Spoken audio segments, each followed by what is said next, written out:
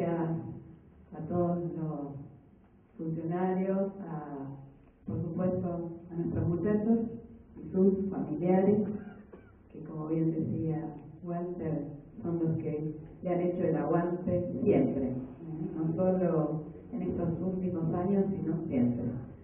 A los abanderados, los escoltas, gracias a los establecimientos educativos por concurrir.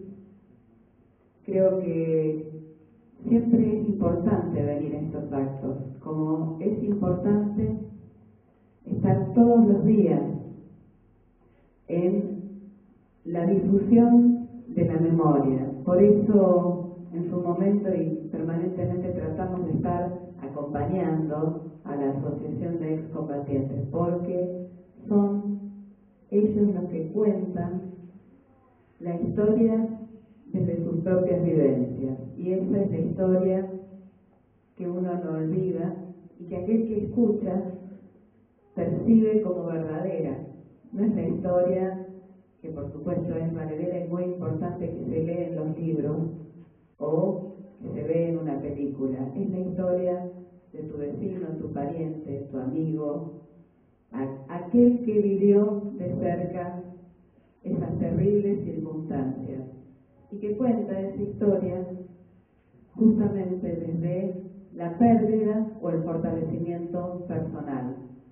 Y es así como se debe luchar permanentemente contra el mal de la desmemoria. Hay una leyenda, una leyenda argentina, que habla del Yacilla Peré, es una leyenda del norte, y habla del mal de la desmemoria. Y creo que en nuestro país esa desmemoria, por supuesto, jamás fue casual. La desmemoria tiene que ver con intereses económicos, políticos, con fuertes y grandes intereses. Y son esos intereses contra los que hay que luchar todos los días desde nuestros afectos. Esos intereses son los que han perjudicado muchas veces a nuestro país.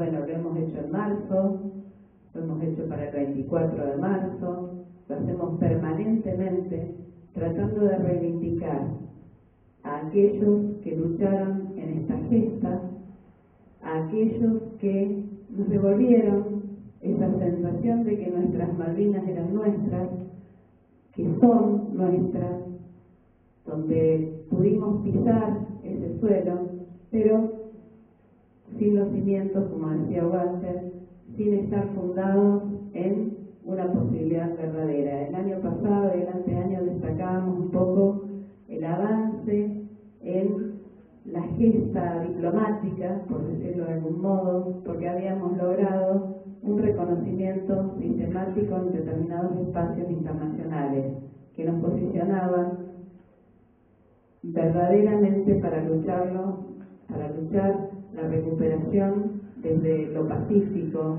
desde lo diplomático. Y creo que ese es el camino y todos tenemos que estar unidos peleando por esa cuestión. Y bueno, y como también decía Walter, es una gran ilusión y realmente sería buenísimo poder volver algún día a las Malvinas. Yo dije, nunca más vuelvo sin tener que presentar un pasaporte, sin escuchar que te hablan en inglés y sin ver cómo la plaza en el puerto, donde cuando llega, digamos, cuando vos llegas a Malvinas, en la plaza hay escarapelas negras. Y esas escarapelas nuestras, esas escarapelas negras no son por nuestros héroes, no son por lo que perdimos nosotros, sino por los soldados pagados por el imperio británico. Así que ojalá algún día podamos ir y cantar nuestro himno, entrar con nuestro DNI y verdaderamente poder hablar nuestro idioma y ser recibidos por ciudadanos argentinos. La verdad, siempre es emocionante este acto, pero quería destacar sobre todo esta cuestión, que tenemos que luchar contra esa desmemoria que la verdad fue muy emotivo haber escuchado testimonios de otros excombatientes, muy importante seguir creciendo en la asociación, seguir uniendo, que sigan muy unidos y que sigan creciendo a nivel local y regional. Cuenten con nosotros. Muchísimas gracias y bueno, a no olvidar, eso es importante.